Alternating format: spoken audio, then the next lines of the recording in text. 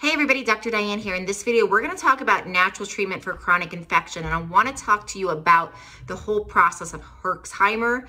So Herxheimer is a die-off reaction when we are releasing more toxins from killing stuff like Lyme or Bartonella or Babesia, and we're releasing more toxins that our body can get rid of.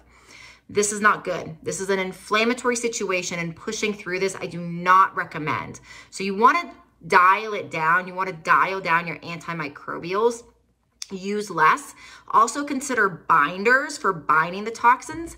And one of the most important processes and one of the most important natural supplements I see people miss for detox is something that helps the toxins leave the liver. So this is TUDCA, choline, or myrrh, and throw one of those in as well. Subscribe if this is enjoyable. See you next time.